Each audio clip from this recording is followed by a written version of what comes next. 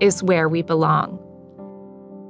Beyond the stained glass of our churches, away from the rubble of apathy, the dust of defeat. Out here, where embers burn, here is where Jesus is at work. Here is resurrection, not resuscitation. It has always been this way for our army. Songsters with holy whispers of hope. We've sung our hallelujahs in a world of long shadows, marched with willpower forged at the mercy seat, bearers of good news, not mortgaged to earthly desires, but with an antidote to sin and despair. Call our work a battlefield for souls. Call it a 21st century Tower of Babel.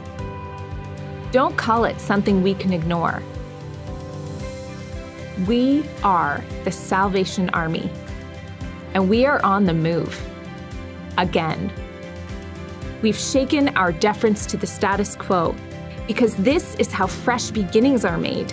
One frightened yet passionate heart at a time, fired with determination to tattoo transformation onto the future. Opportunity is birthed in a crisis. We are resurrection people. Our vision is the call turning us to renewal. We have the courage to step out in faith. So, where to?